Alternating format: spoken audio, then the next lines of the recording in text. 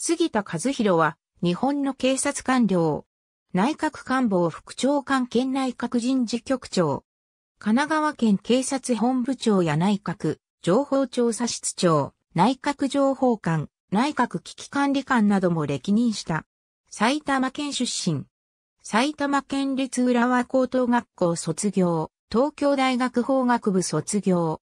地下鉄、サリン事件、国松隆治警察庁長官狙撃事件、在ペルー日本大使公邸選挙事件当時の警察庁警備局長。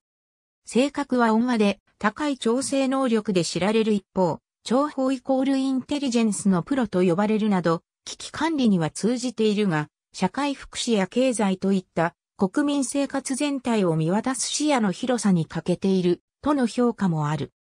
警察ではほぼ一貫して警備、公安畑を歩み、警備局長を経て内閣官房にて内閣情報調査室長、内閣情報官、内閣危機管理官として政権中枢で公安と危機管理を担った。2004年に退官。2012年12月26日、第2次安倍内閣において内閣官房副長官に就任。第2次安倍政権発足時から2021年まで約9年間にわたり政府の事務方トップを務めている。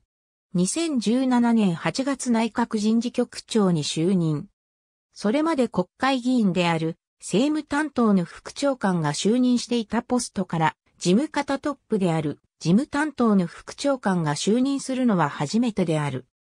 2021年7月25日、官房副長官の在職日数が3134日となり、村山内閣から小泉内閣にかけて官房副長官を務めた古川定次郎を抜いて歴代最長となった。事務担当の内閣官房副長官は、事務次官等会議を運営するなど、各省間の調整を主な職務であるが、省庁の垣根を超えた匿名案件のほか、各省庁の幹部の動向に睨みを聞かせているとされる。ありがとうございます。